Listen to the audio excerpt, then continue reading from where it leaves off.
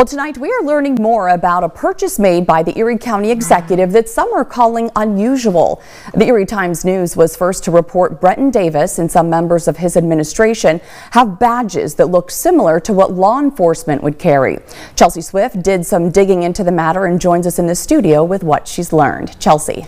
Jen, Erie County Executive Brenton Davis has purchased several badges for himself and members of his administration, and he refused to comment on the matter earlier today.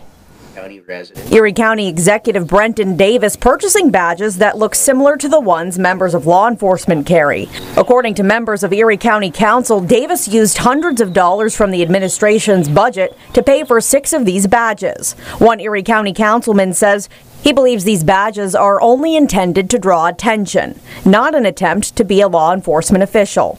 The chairman of Erie County Council says the administration should leave the work to the Erie County Sheriff's Office and other members of law enforcement. They're all outstanding organizations that protect us. The county executive and county council have more important things to do than walk around seeing who gets a badge. Uh, we have a budget that's coming up and God only knows what's going to happen with that.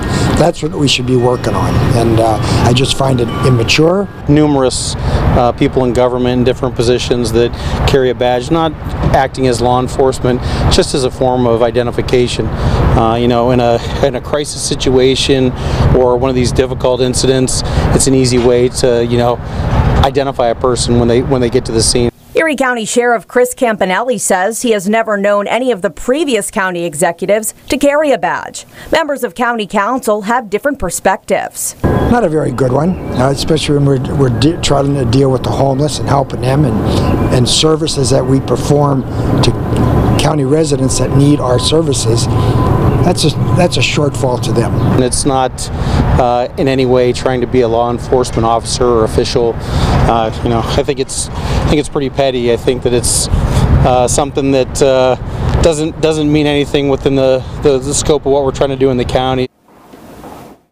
And we want to take a moment to recognize that today is Chelsea's last day here at Jet TV. We are going to miss you tremendously. You have been such a huge asset to our station and the Erie community, and we're very proud of you, and we're going to miss you a lot.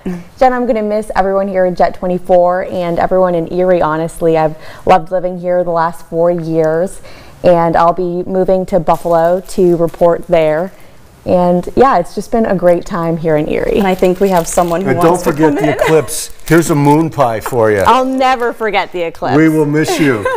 Thanks, Tom. Thanks, Jen. We certainly will. And we're happy that you're getting to go back to your home state. There's nothing like going home. That's right. All right, Chelsea, best of luck to you. Thank you.